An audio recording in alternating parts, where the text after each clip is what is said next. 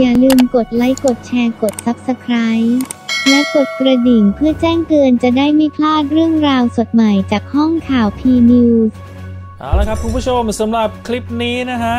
เรามาดูกันดีกว่าว่าสมาคมนักข่าวบันเทิงนะครับ ให้ฉายาดาราที่โดดเด่นนะครับ ประจำปี 2562 ว่าอย่างไรกันบ้างนะครับ ก็เป็นธรรมเนียมปฏิบัติกันทุกๆ ปีนะครับสำหรับสมาคมนักข่าวบันเทิงนะครับ ซึ่งปีนี้ 2562 นำโดยนายสุเทพคล่องใจนะครับรักษาการนายกสมาคมนักข่าวบันเทิง พร้อมด้วยกรรมการสมาคม สมาชิกสมาคม ได้ร่วมกันกับพี่น้องสื่อมวลชนสายบันเทิง หลายสำนักข่าว สื่อทุกแขนง มีการโหวตตั้งฉายาของดาราประจำปีขึ้นนะครับเพื่อเป็นการสะท้อนถึงความโดดเด่นในหลายแง่มุม ของตัวตนดารานักแสดง 10 อันดับนะครับประจำปีนี้ขึ้น เรามาดูกันดีกว่านะครับว่าจะมีใครบ้างนะฮะดาราคนแรกเลยนะครับ นี่เลยครับฉายากู้ภัยใจพระ จะเป็นใครซะไม่ได้นะครับ นอกจากบินบรรลือฤทธิ์ซึ่งฉายานี้นะครับก็ได้มาจากการที่พี่บินประกาศร่วมบริจาคช่วยเหลือพี่น้องประชาชนที่ประสบอุทกภัย ที่จังหวัดอุบลราชธานีนะครับ ซึ่งได้เงินกว่า 422 ล้านบาทนะครับ ซึ่งเงินบริจาคดังกล่าวนะครับ พี่บินก็ไปมอบให้ถึงมือผู้เดือดร้อนด้วยตัวเองเลยนะครับ รวดเร็วกว่าหน่วยงานอื่น ๆ นะฮะ อ่าสำหรับดาราท่านต่อไปนะครับ นี่เลยครับฉายา สวยยืนหนึ่ง นั่นก็คือเบลล่ารานีสำหรับที่มาของฉายานี้นะครับ หลังจากดราม่าปะทุ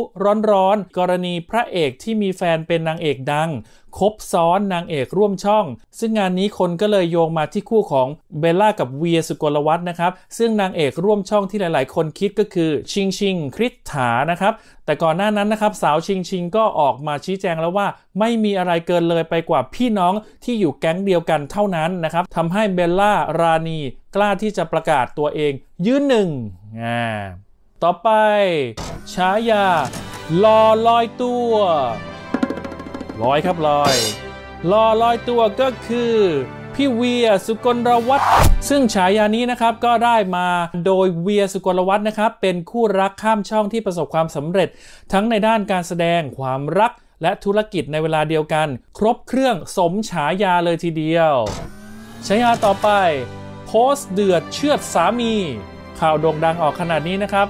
นั่นก็คือฉายาของหนิงปณิตานั่นเอง จากกรณีที่หนิงโพสต์ข้อความต่อว่าเจ้าหน้าที่ตำรวจจราจรนะครับ หลังถูกตำรวจจับ แต่เจอพฤติกรรมที่อ้างว่า เจ้าหน้าที่อยากจะเรียกรับเงินตัวเองนะครับ โดยไม่ได้ออกใบสั่ง พร้อมแคปชั่นยาวๆนะครับฉะเดือดถึงการปฏิบัติหน้าที่ของเจ้าหน้าที่ตำรวจ ซึ่งภายหลังจากการตรวจสอบทะเบียนพบว่ามีการสวมทะเบียนรถคันอื่นมาใช้นั้น จนถูกชาวเน็ตวิจารณ์ยับ โดยต่อมาได้เดินทางเข้าพบตำรวจพร้อมสามีจินจรินธรรมวัฒนะนะครับ ขอโทษตำรวจคู่กรณี ฉายาต่อไป รักซ้อนซ่อนหมี เดาไม่ยากเลยนะฮะ นั่นก็คือน้องแพทริเซียกู๊ดนั่นเอง จากข่าวเม้าท์ที่ทำให้ชาวเน็ต ตั้งข้อสงสัยเกี่ยวกับภาพสาวแพทริเซียนะครับ ที่ลงแคปชั่นเป็นรูปอีโมจิตุ๊กตาหมี โดยนำมาเชื่อมโยงกับภาพอินสตาแกรมของไฮโซโน้ตที่โพสต์ภาพอาหารพร้อมอีโมจิรูปตุ๊กตาหมีเช่นกันทำเอาชาวเน็ต ทั้งหลายได้ตั้งข้อสงสัยว่า ทั้งคู่ต้องการสื่ออะไรกันหรือเปล่านะฮะ ฉายาต่อไป รักตายเฟรนช์ฟรายเกิด ไม่ใกล้ไม่ไกลครับ พีทพัชระนั่นเอง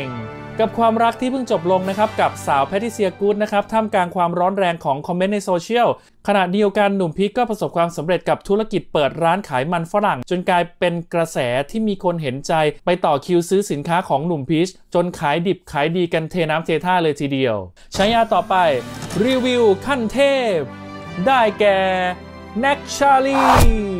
ขึ้นแท่นเป็นเบอร์หนึ่งของการรีวิวสินค้าแปลกแหวกแนว ไม่เหมือนใครนะครับสำหรับดาราสุดติสท์นะครับอย่างแน็กชาลีไตรรัตน์นอกจากจะสร้างสรรค์แล้วนะครับ ยังเรียกเสียงหัวเราะให้กับคุณผู้ชมอีกด้วย แถมเจ้าตัวยังตั้งใจมาก และใช้จริงไม่ได้รีวิวกันมั่วๆนะฮะ และแน็กก็มักจะพาน้องอาร์เธอร์นะครับ หลานชายสุดแสบเข้ามาร่วมกระบวนการอยู่เสมอๆนะครับฉายาต่อไป เสือผาพาปัง นั่นก็คือไมค์ภัทรเดชนั่นเองนะครับกลายเป็นกระแสจนสาวน้อยสาวใหญ่กรี๊ดนะฮะหลังจากที่ไมค์ภัทรเดชนะครับรับบทเสือผาในซีรีส์ชุดสุภาพบุรุษจอมโจรในเรื่องมธุรสโลกันตร์ที่ทำเอาคอละครสาวๆ นะครับ ทุกรุ่นทุกวัยต่างเพ้อหาด้วย character ที่น่าสนใจ บวกกับบุคลิก รูปร่าง และฝีมือทางการแสดงของหนุ่มไม้นั่นเอง ก็ทำให้สามารถครองใจแฟนๆ ได้เป็นอย่างมาก ขึ้นแท่นเป็นพระเอกสุดฮอตของปีนี้เลยทีเดียว ฉายาต่อไป คนอวดแฟน แมนได้ใจ จะเป็นใครไปไม่ได้นะครับ นอกจากพระเอกสุดรอคนนี้เลยนะครับณเดชน์คูกิมิยะ นาทีนี้นะครับคู่รักที่ว่าหวานแล้วก็ต้องสยบให้คู่นี้นะครับณเดชน์คูกิมิยะ และยาย่าอุรัสยานะครับ ควงกันไปสวีทหลายที่เลยและแถมลงรูปรัวๆนะครับ จนทำให้คนโสดนอนดิ้นกันเลยทีเดียว อีกทั้งหนุ่มณเดชน์ยังตอกย้ำว่า ทั้งคู่มีอนาคตซึ่งกันและกันด้วย และฉายาสุดท้ายนะครับ คู่หวานน้ำตาลท่วมช่อง ซึ่งฉายานี้นะครับก็เป็นของกันนภัทรและมารีเบิร์นเนอร์นับเป็นคู่หวานแห่งปีอีกคู่นะครับสำหรับคู่นักแสดงสาวมารีเบิร์นเนอร์แล้วก็นักร้องเสียงดีนะครับกันนภัทรหลังทั้งคู่เปิดตัวคบดูใจกัน เรียกว่าทำเอามดขึ้น IG กันเลยทีเดียว กลายเป็นคู่หวานย่านอโศกในที่สุด และนี่ก็คือ 10 ฉายาของ ดาราประจำปี